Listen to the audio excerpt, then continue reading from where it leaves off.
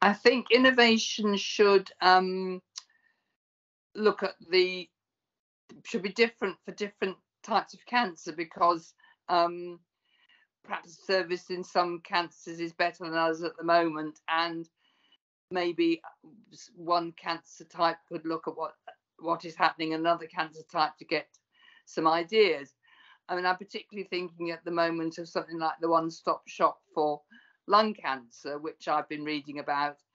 And I know when I was first diagnosed with breast cancer in Tameside, we had a one-stop shop which was really good.